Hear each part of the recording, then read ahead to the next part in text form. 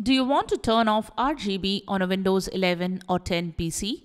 Then you are at the right place as we have the ways to do so. Let's get started. This is the Windows Club. RGB lighting on a computer is excellent and enhances the overall aesthetic of your setup. However, you may want to disable RGB on your computer, which is not as straightforward as you might think. So, if you want to turn off RGB on a Windows 11 or 10 PC, here are a few ways to turn off RGB lighting across all the components on your PC. Let's get started. Method 1. Configure BIOS or UEFI RGB settings. A direct method to disable RGB is the BIOS or UEFI since many motherboards typically include this feature. Nonetheless, the availability of the RGB disable option in the BIOS varies with different motherboard models.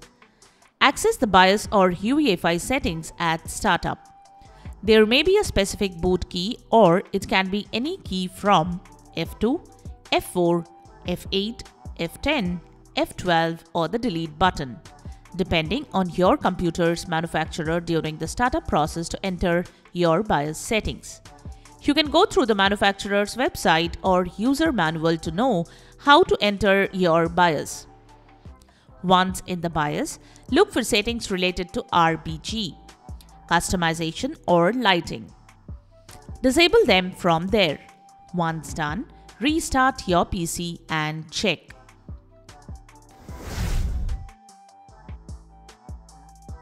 Method 2. Manufacturer Utility Software Many motherboards do not allow you to turn off RGB via BIOS, but they come with utility software that allows you to play around with the motherboard settings. For instance, ASUS motherboards have Aura Sync. Depending on your motherboard, you must go to the manufacturer's driver download website to see if you can spot any utility software. If you do, then download it and see if it has the option to disable RGB settings. You can follow this link to download the manufacturer's driver. The same goes for other devices like keyboards, mice, or GPUs.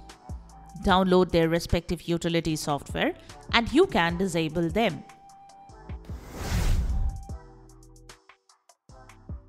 Method 3. Open RGB software. If your motherboard cannot disable RGB via BIOS or utility software, use OpenRGB. It is open source software for customizing RGB settings for all PC components. It also comes in handy for temporarily disabling RGB or customizing the RGB settings for all your components simultaneously. First, download OpenRGB from its website. Here is the link for this. Next, install the software by following all the screen steps.